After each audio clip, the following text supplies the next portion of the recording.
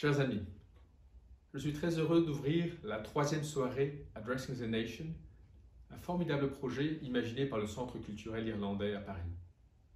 Ce projet offre une tribune à 40 artistes d'exception et nous nous embarquons ce soir pour un voyage avec 10 d'entre eux. Ces 10 artistes nous font partager leurs réflexions sur des sujets aussi variés que la mondialisation, le changement climatique, le rôle de l'artiste dans la société, le processus créatif ou encore la perte et le chagrin. Leurs visions peuvent être légères ou sombres, osciller entre peur et espoir. Je suis particulièrement heureux de la participation ce soir de l'artiste franco-irlandaise Kelly Rivière, qui a conquis le public français avec sa pièce An Irish Story, qu'elle pourra, j'espère, bientôt venir jouer en Irlande. Je me réjouis des liens étroits noués entre le Centre culturel irlandais, l'Alliance française de Dublin et l'ambassade de France en Irlande depuis de nombreuses années déjà, et je vous souhaite une soirée des plus stimulantes.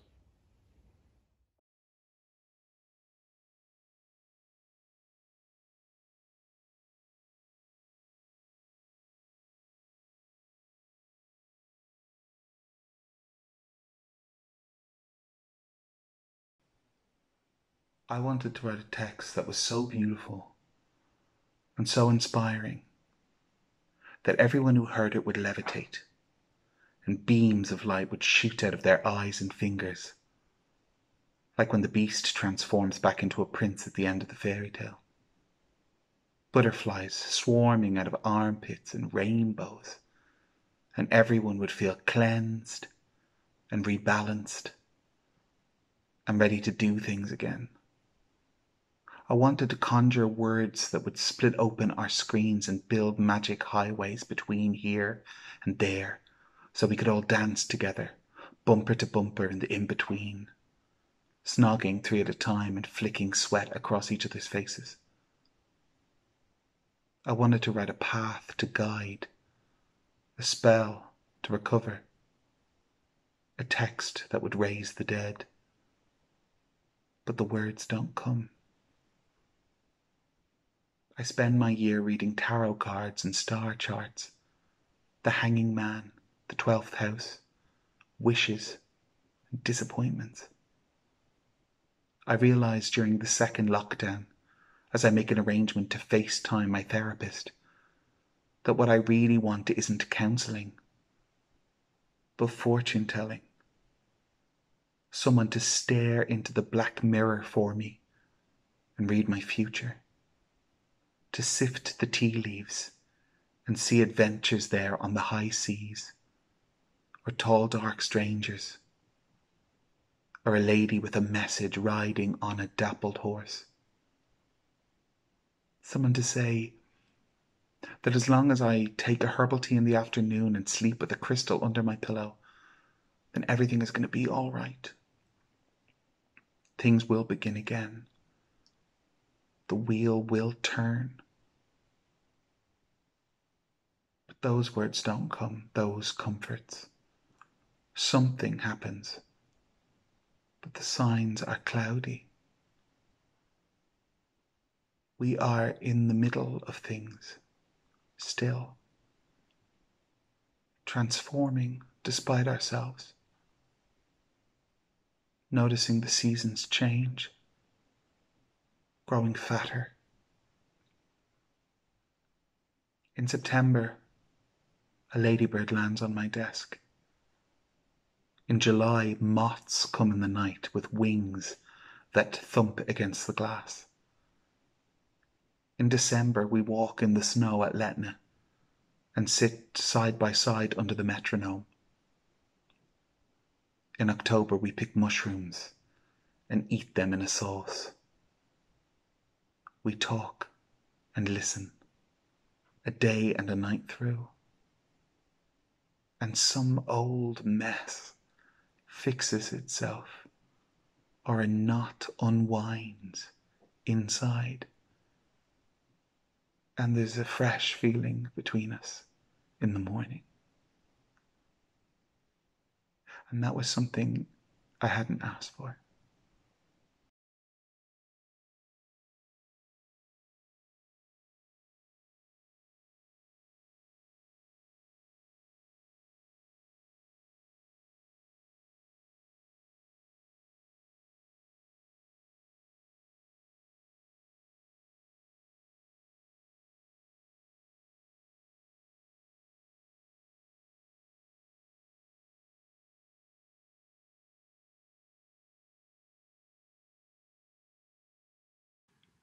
There's graffiti etched deep underground on the wall of a Hong Kong subway station. It translates as We can't return to normal because the normal we had was precisely the problem. Across the globe in Santiago, Chile, activists project their mantra onto the side of a skyscraper. It reads, We won't return to normality because normality was the problem. Closer to home in Amsterdam, hastily pasted posters line the iconic canals. The bold black text screams, We can't go back to normal because normal was exactly the problem. Three disparate cities with their own distinct cultures sharing one message. Things need to change. Before we rush to delete 2020 from memory, to erase the year of illness, lockdowns, isolation, and despair, let's instead seize the opportunity to learn from the pandemic, to learn from this global disruption, to reflect on and take stock of the world we've created for ourselves and each other. One thing is certain things need to change. The old systems are broken. There's no going back. 2021 offers a year of unprecedented hope. The hope is that we don't go back to normal.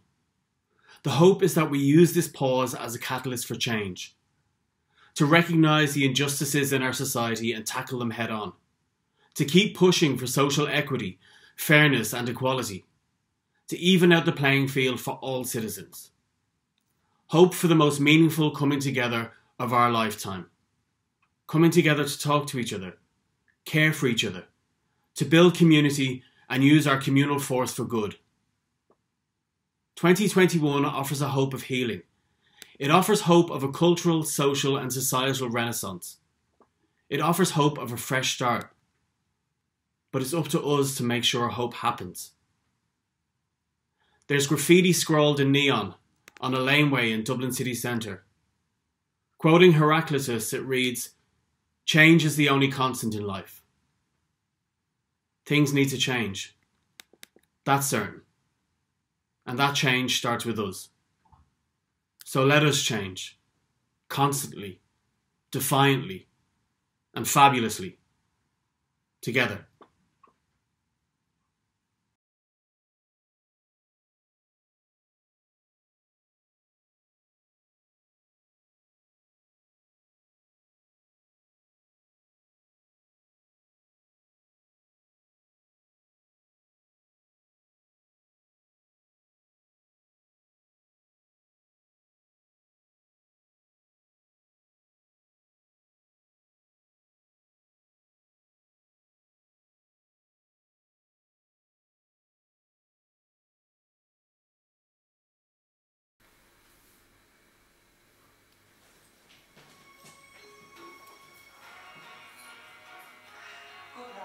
It's 8 o'clock on Friday, the 1st of January 2021. And on our first Morning Ireland of the new year, Foreign Affairs Minister Simon Coveney on the new Brexit normal and Ireland's term on the UN Security Council. HSE boss Paul Reid on the worsening COVID crisis. We'll also hear from Sinn Féin's Matt McCarthy and helping the arts and artists get through the pandemic, Sinead Crowley reports.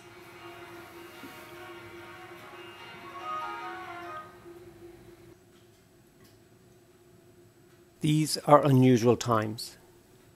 I think it is safe to say that the impact of COVID 19 globally has highlighted the fragility and vulnerability of globalization as a sustainable model at numerous levels. The issue around PPE clothing throughout the pandemic highlighted the fragility of supply lines and shone a light on the necessity to have the ability to manufacture and produce goods at a local level for a sustainable future. Surely it is time to reassess globalization as a viable model moving forward.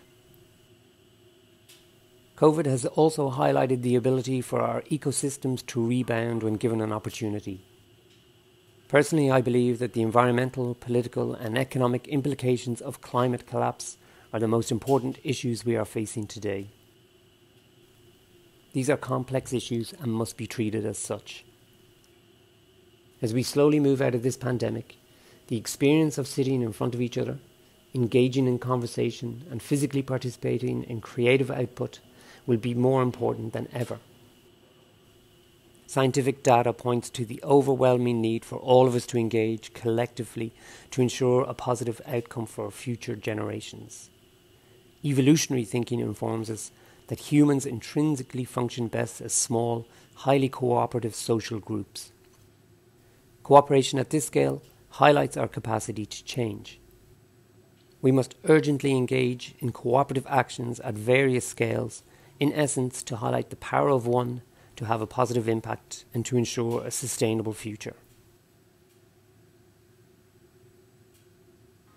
It'll be cold and frosty at first with icy patches. There'll be sunny spells today. It'll be dry in most areas, but there'll be scattered rain or sleet showers in northern and western coastal counties.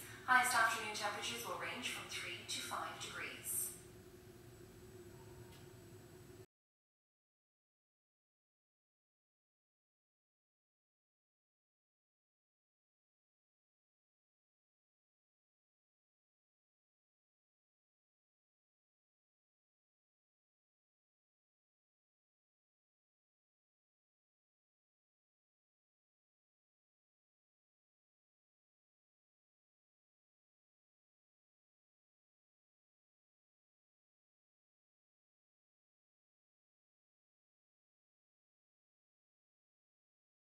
In 2020, our calendars and diaries became blacked out spaces full of cancellations, interruptions, and absences. Because of these voids, I've thought a great deal about time and creativity and how we're invited or permitted as artists to show our work to the world and how this public exposure leads to creative breakthroughs. I'll start with a short quote.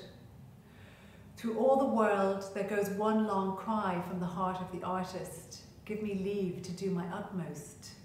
This is a line at the end of the film Babette's Feast, written by Karen Blixen. The late great Janet Mullarney uses it to thank the team at the Highlanes Gallery for enabling a powerful exhibition there in 2015. It feels miraculous now to have spent early 2020 in residence at the Irish Cultural Centre in Paris. This was a period of intense creativity for me, the first time I had an extended work phase without children for 12 years. It was fascinating to grasp how differently I, I functioned with unrationed studio time. I realised what all artist parents intrinsically know, how productive we can be even within a constrained time frame. But what was transformative in Paris was a kind of expanded mental space. I had time to develop multiple new ideas, some to work on straight away and others preserved for the future. I then spent lockdown in Belfast with my husband and my three children, and during that time, my working hours were restricted. My art making was slotted in between homeschooling, household schedules, and juggling of tasks. I thought often of the artist Phyllida Barlow, who brought up five children with her husband. She talks of being unable to work productively for any longer than four hours because this was the length of time that she and her husband swapped between them as they taught, looked after their family, and made artwork. Decades later, in her 70s, she still works in four hourly blocks. The UK based Freelance Foundation has recently published research showing how severely artist mothers found their work affected during lockdown. And I wonder how we can constructively work to fix institutionalised sexism in the commercial art world. Shining a sharp light on this helps, as the Waking the Feminist and the Me Too movements did. But often, after a period of focus and change, the numbers slip back. Female representation in London galleries has dropped in percentage numbers since 2017. I have taken inspiration this year from Black Lives Matter as subject material of my work, but also as evidence of a wider movement for equality which foregrounds the structural reproduction of privilege and access to resources. The essential message of the Black Lives Matter movement in 2020 has been to make us aware of persistent and lethal racism within our society and institutions. As an artist who researches and documents protest movements, I know it can take decades to affect actual change. I hope we now become more attuned to who is missing from shortlists and exhibition rosters. Counting is, of course, essential, but it's not enough. We need to address the conditions that limit the quantity and quality of work that gets an artist to the point where they're eligible to be counted. During this strange time, all of our practices across disciplines have been hugely, hugely affected. I hope you, our audiences, and my fellow artists have found ways to make things. Out of making comes thinking, and in hard times, it's easy to forget about this magical combination which enables hope and a vision for the future.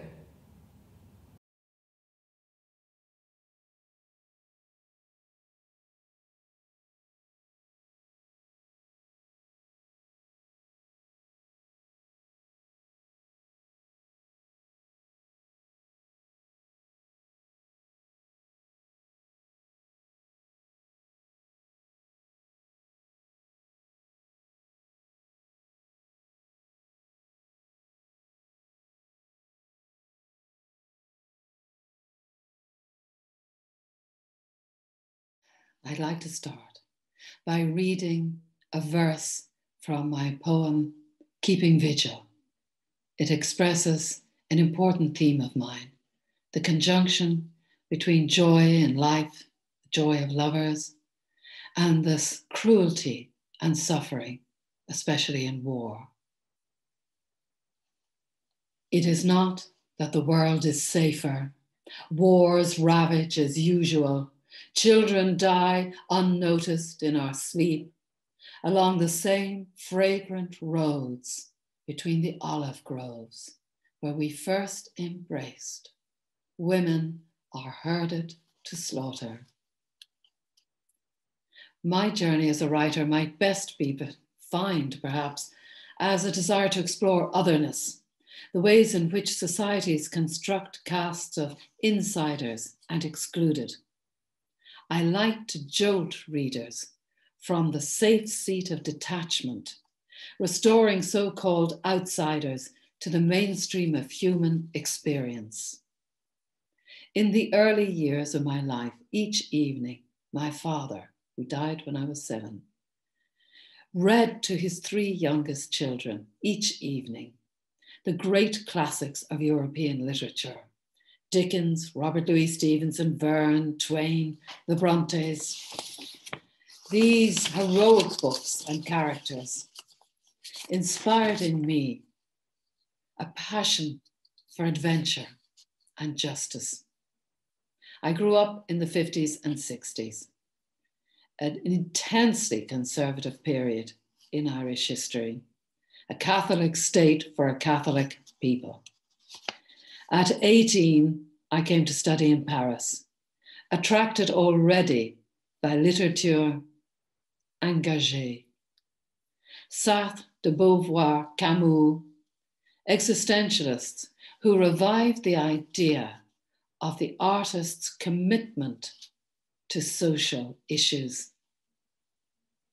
Coming home at 23, I joined the women's movement and with a group of radical friends formed the first sexual liberation movement, LGBT. And I began with others the exhilarating, arduous journey of luring Ireland into the 20th century. Eventually, after much campaigning and travel, I gave in to the strongest impulse I've known. I ran away to write in a cottage in Kerry. When I first published, there was hardly one novel by an Irish woman in an Irish bookshop. Now it's impossible to count them. So many new voices, an orchestra of rich and varied themes. A revolution in social conditions has been accompanied by an artistic upheaval that inspires it and do- documents it. In Ireland, we still, fortunately, seem to revere our poets and writers. Consider the outpouring of sorrow last year at the death of the poets Eavan Boland and Derek Mahon, both friends of mine many years ago. In this century, I hope women will at last draw parallel with men in public recognition.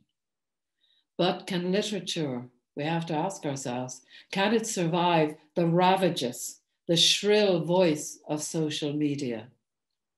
Perhaps stories and poetry are so deeply embedded in our DNA that readers will always crave them. I hope so. It's looking good so far with the extraordinary flourishing of literature and the, all the arts in Ireland, music, oh, music and visual arts are extraordinary things happening there. If so, if if we live and if literature lives with us, and if we continue in peace times to create it, there might come a day when no one notices an author's gender or race, but says only, This morning I started an astonishing novel by an extraordinary human. To be a writer is to believe in the transcendent power of story to reveal truth. Our task as artists then must be to listen, to reflect, and when that's done, to speak back to our culture, to enlarge understanding, to teach empathy, and to change our world. That was the most important thing to me to change our world apart from the great joy of writing, of giving expression to the imagination. I love it and I love reading. I hope you do too.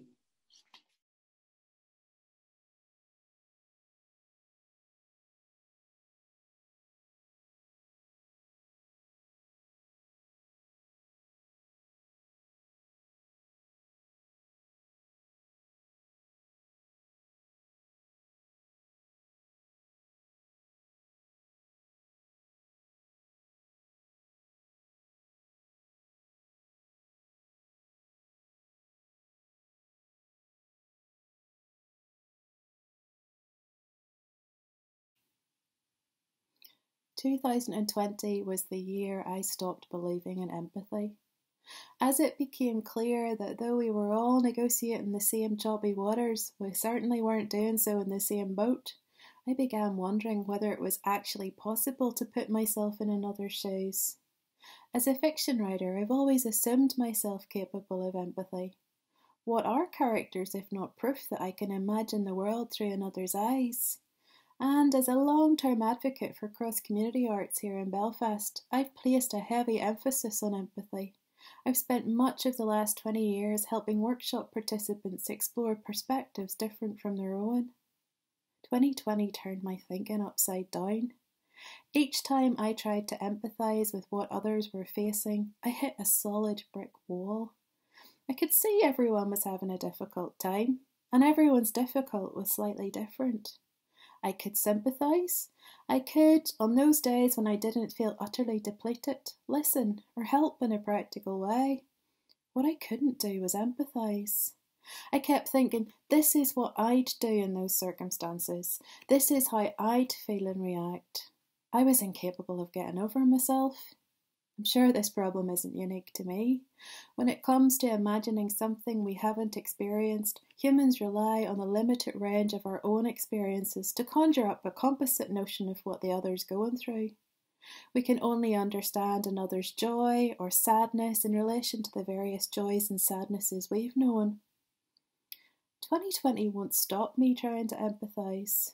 I believe that Northern Ireland, and indeed the world, would be a lot less troubled if more people strove to see the other's perspective. But empathy, much like infinity, is a concept which can never be fully achieved. We're far too bound to our own sense of self. Losing faith in empathy has actually given me a fresh respect for what others are going through. If I can't fully understand your experience, neither can I reduce it, quantify it, or explain it away. I don't get to dismissively say, I understand what you're going through. Instead, if I'm lucky, I get to sit with you as we experience difficult in our different ways. This might not look like pure empathy, but it's a good starting point.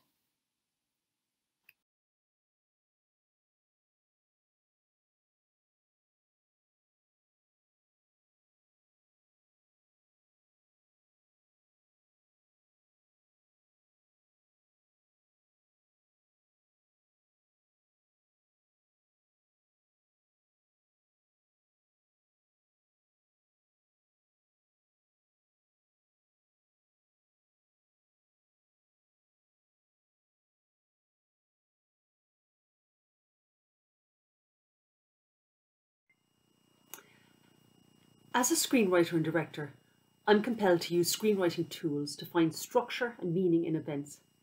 It's necessary both for my work and for trying to keep my own existential panic at bay. Well, now we've all found ourselves embroiled in the biggest drama of our times. The inciting incident, a global pandemic, has hurt each and every one of us off course, but it's also set us on a potential hero's journey if we choose to accept the call. In drama, we say that under pressure, true character is revealed.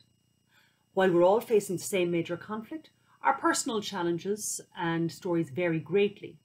However, this pandemic has put us all under unique pressures and each individual's experience is valid. To various extents, we've all had to lay down many of the tools, crutches, and masks we, we thought we could rely on to get us through life and to lend us our sense of ourselves, be it our careers, our activities, our relationships, even basic human contact.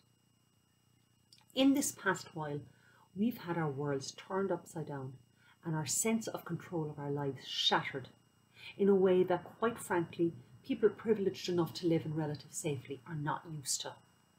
In fact, we've all been forced to face up to both our personal and our global vulnerability. However, in drama, in life as in drama, there is the potential to find our true strength in this vulnerability and in our choices. We can either choose to shut down and entrench in fear, or we can allow it to open us up and to embrace uncertainty and to increase empathy for the challenges that other players face in their personal dramas and the decisions that they're impelled to make. And if under pressure we screw up in one scene and act less heroically, there is always the hope for redemption in our next choice. If there's one thing that I hope for as we gradually emerge from this pandemic, it's that we continue to redefine what it is to be heroic and who and what should be celebrated.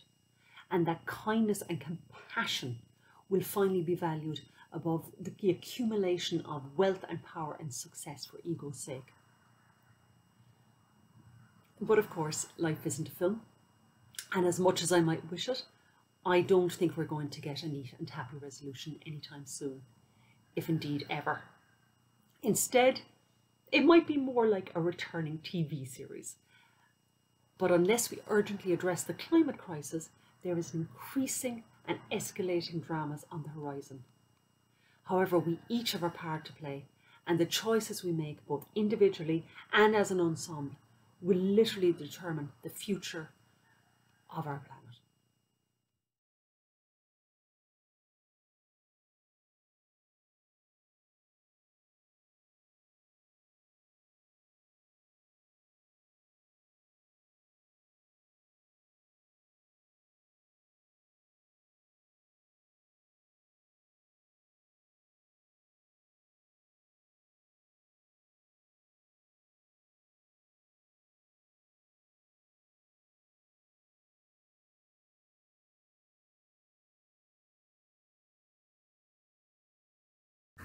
Three years ago, I wrote a play called An Irish Story. It's about my grandfather, Peter, who was born in the 30s in a small village in County Limerick, who came to England in the 50s and who disappeared in the 70s.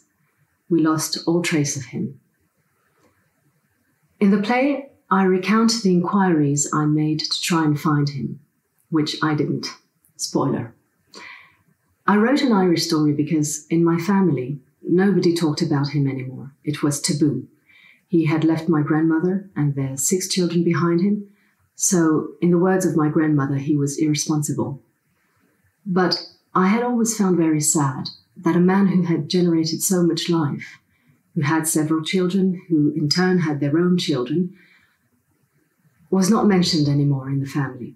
I was his granddaughter, and I couldn't talk about him to anybody. And I thought this was sad. So, in a way, I wrote this play to make him live again. And that's the power of theatre. You create fiction, and through fiction, you make dead people live again. As if by magic, the play was a great success. It was a sellout in Paris for seven months. and it toured all around France. And after each performance, spectators came to see me to tell me their personal stories, which I found was deeply moving and which justified the purpose of my initiative. It's what we call catharsis in theatre. And I realized the power of storytelling. I've experienced this personally. I also realized in performing an Irish story that I thought a lot about disappearance, about loss, because it's the story of someone you lose and how you survive to this loss. When the COVID virus appeared in our lives, we were harshly confronted overnight with disappearance. We lost our jobs, especially as artists. We lost our freedom of movement, our guidelines, contact with loved ones, and we had mixed feelings exhaustion, incomprehension, but also moments of bliss. I personally, I mean, I've loved spending so much time with my children and my partner, especially during the first lockdown.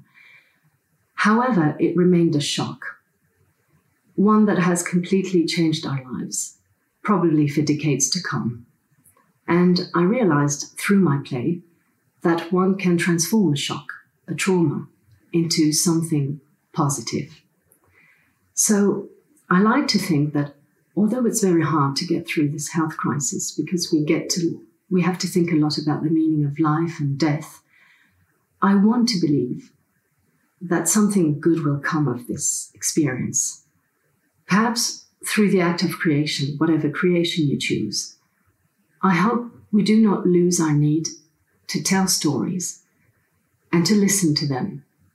Stories about grief, but also about how one can overcome grief. Because it's vital.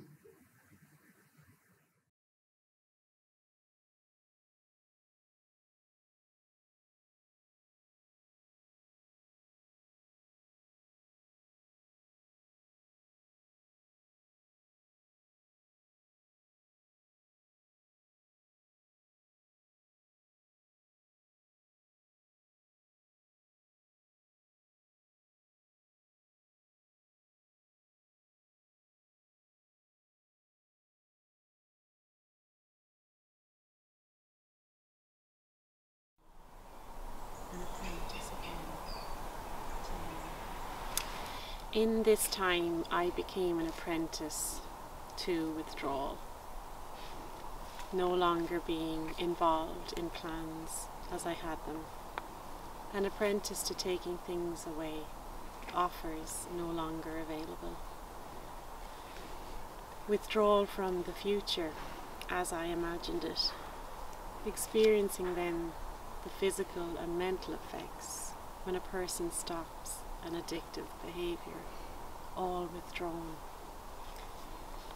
The couple as I knew it, the city as I lived it, liveness as I directed it. Withdrawing into aloneness, learning aloneness, withdrawing further, moving in and eventually out of an occupied area, unmarrying a city, a husband, I ferried home. Withdrawal tutored me home. Back to the source, the origins of my aptitude for withdrawal. My apprenticeship directed me here to the withdrawal of a father's love, early, too close to the beginning. And I sat, for weeks I sat, angry at his grave, mad at his graving. I, now in need of daughtering, why this forsaking, withdrawing then that question. Where is your love, Father? I engraved. How to daughter without, I asked. Squatted out the silence till understanding advanced. Exhume what was withdrawn, he fathered. Love, daughter, do not withdraw your love. I switched subjects then. Withdrawal will not master me. I will not master withdrawal. Now, this time, I will be an apprentice again to love.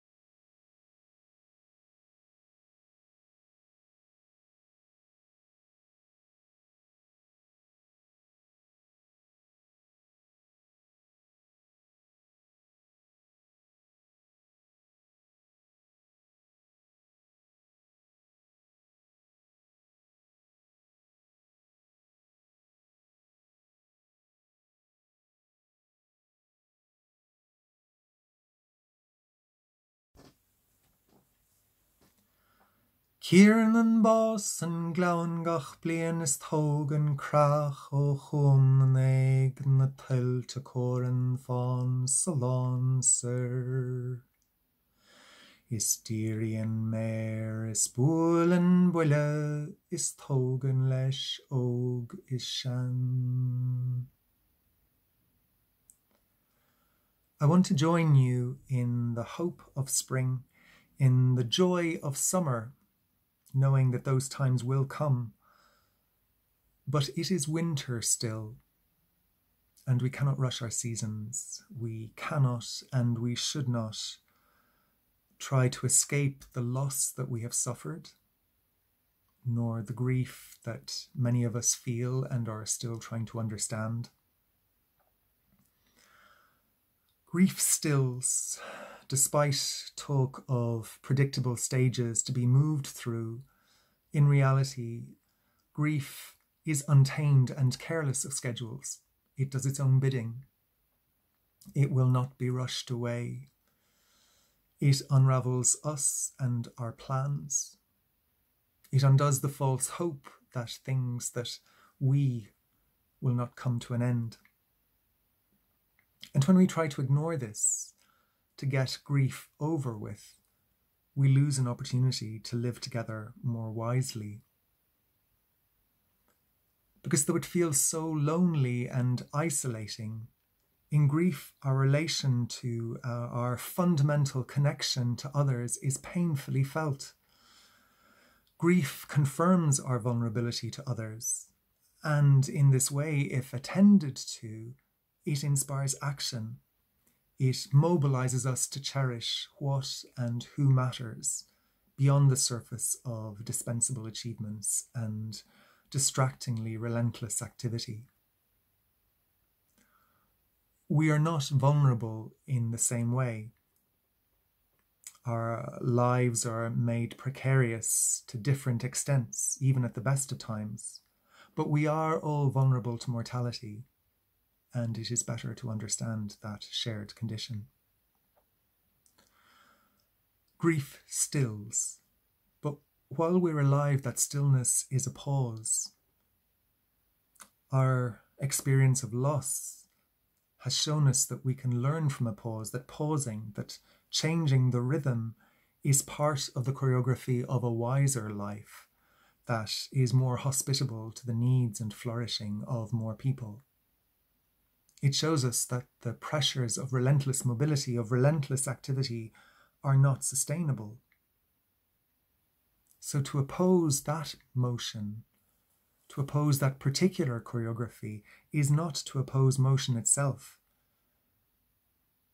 But it is a demand for us to deploy a greater choreographic sensitivity, to vary the score, to vary the tempo, the location of the dance, so that more of us can do it together. I'm asking us to use our grief to dance more wisely. Sinní an chraach a hógan an bás leis an cnagar is ó choras go doras. Ní heiscach daine níl teag ná rébach. Saralig pastor dashke gwingalair.